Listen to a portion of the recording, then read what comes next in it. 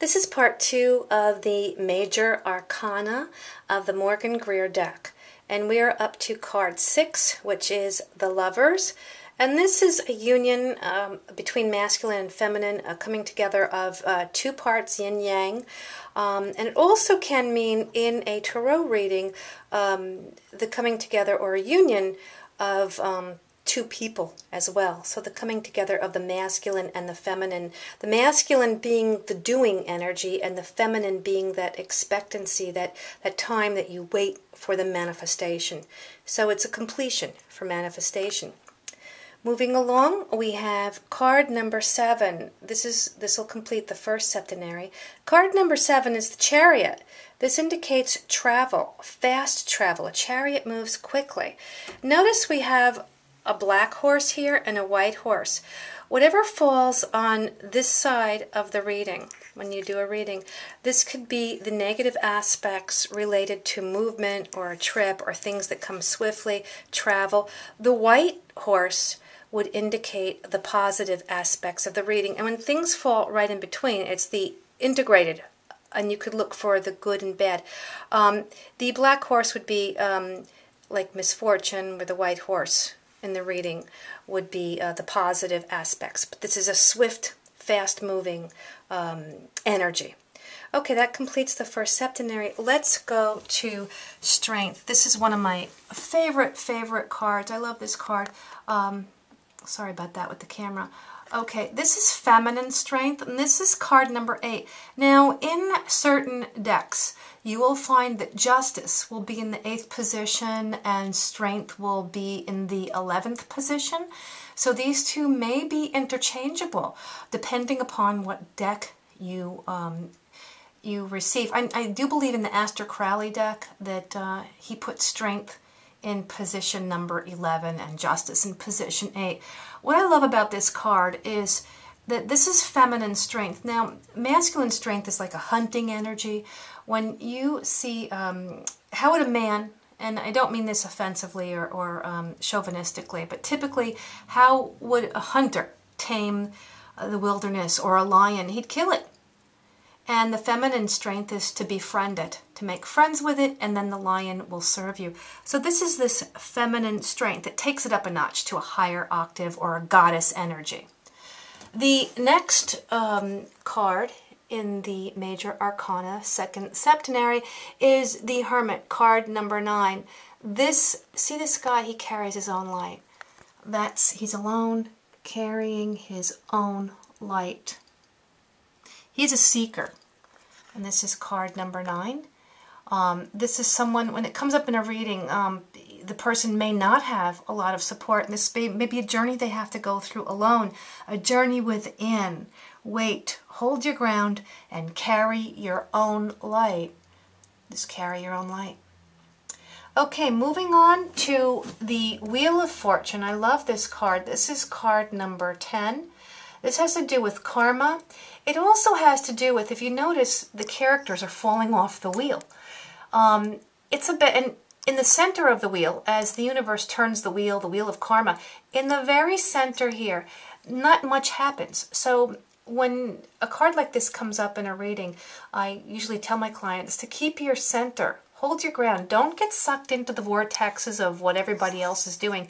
Remember your own grounding and your own focus in the matter, and um, to and to be that fulcrum and balance for yourself. More of a fulcrum. All right. Here comes card number 11, 11 being a master number. So this is a card of, of importance. This is justice and balance. It represents a fair outcome and spiritual balance. It's a positive statement. And you could see the scales here that the justice card holds and also the sword pointing up.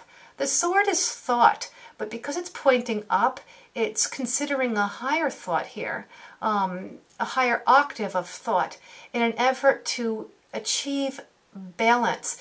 Now the sword and the scales, the scales are, are, are like Libra, and the sword typically um, also is air.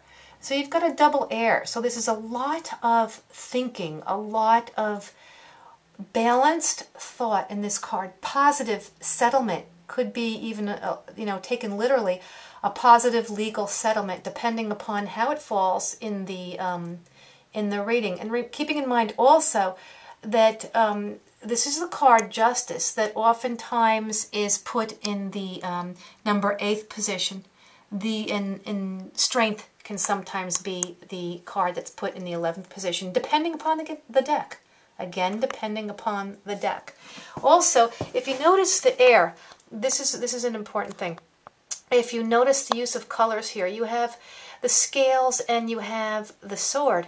But when you look at the, the use of color, when you see the greens and you see the blues, you can think of the water, the earth element, and you see the, the red, the fire, and then you see the veil behind them here, and then more fire. In other words, he does not rule with emotion.